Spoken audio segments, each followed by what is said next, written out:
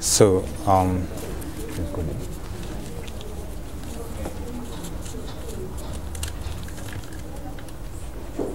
Mhm. Is that it? No? So, so this is the jacket that you have. It's an ordinary reflective jacket, the one that's worn by motorcyclists, but we've taken it and added some lights on it. As you can see, they form an arrow here. Mhm. Yeah, and uh, like to show you how it works. So this is what is worn by the motorcyclist. So he continues wearing it. Then we have a circuitry that you get to fix on the motorcycle.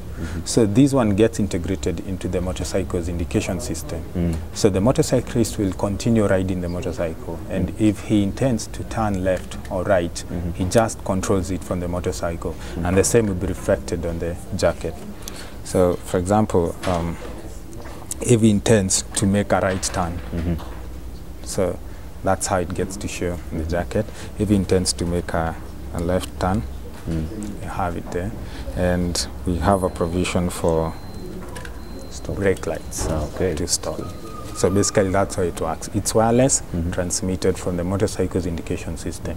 There is no additional uh, learning curve for the motorcyclist. Mm. His job is just to wear the jacket Mm. and continue riding the motorcycle. And um, how can I? Okay. I. That. Uh, okay. So uh, a, a right turn. That way. So you have orange lights indicating a right turn. You have uh, a left turn, Mhm. and you have some brake lights.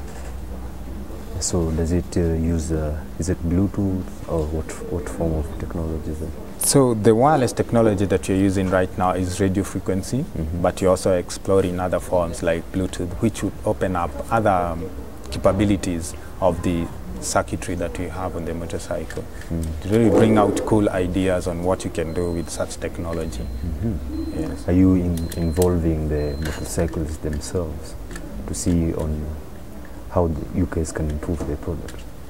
Yes, exactly. So the, the people that you're piloting with, they're the ones who are giving us real-time information. Mhm. Because now they come and tell us that, uh, you know, the, the last time the battery ran out, Mhm. out of using it for only two days. Mhm. So then we sit down and think of how now can we try to increase the life of this battery since it's going to cost them.